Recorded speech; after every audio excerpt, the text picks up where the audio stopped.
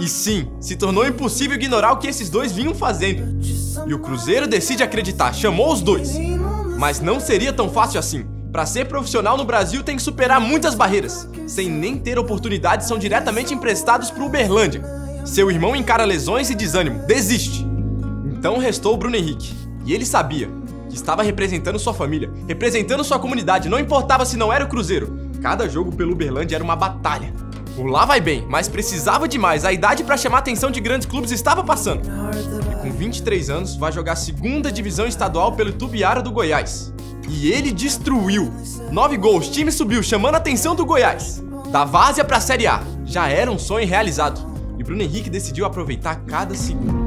Estreia no Brasileirão Série A com 24 anos e fez bom campeonato. Mesmo com o rebaixamento do Goiás, Bruno Henrique fez 12 gols e 7 assistências.